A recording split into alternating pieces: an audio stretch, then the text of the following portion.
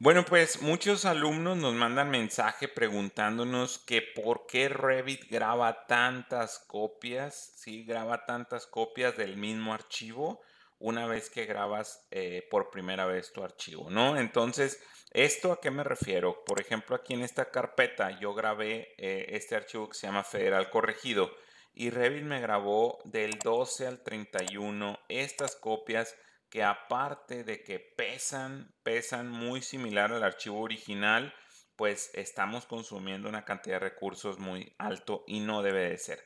Aquí todas estas yo las puedo eliminar y me puedo quedar con federal corregido.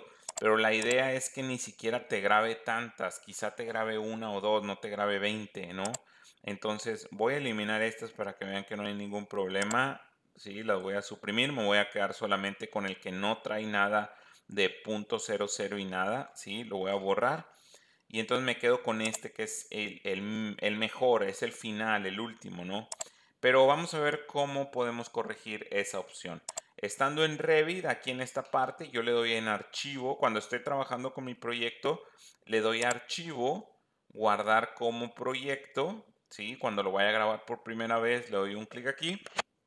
Y luego, aquí en esta parte donde yo ya voy a elegir dónde grabarlo, antes de darle guardar, le doy en opciones. Y en opciones lo que hago es que aquí me aparece el máximo de copias de seguridad para guardar. Entonces yo aquí lo que voy a poner es solamente colocar dos o colocar tres copias en lugar de 20 para que pues esto no me esté afectando a la hora de tener archivos con demasiado peso. Porque si tuvieras un archivo de 200 megas, pues las 20 copias ya te va a dar 2 gigas de repente, o sea, te vas a tener demasiada, demasiada eh, memoria utilizada. Entonces le doy 2 aquí, ya nada más le doy a aceptar y listo, guardar. Ahora sí ya se estarían guardando solamente dos copias. ¿sí? Obviamente voy a tener que darle estar, estar dándole guardar o cuando me aparezca un recordatorio, pues darle guardar, ¿no? Porque aquí ya lo guardé por primera vez, pero no quiere decir que se grabe solo. O sea, yo tengo que estar dándole guardar cuando haga cambios.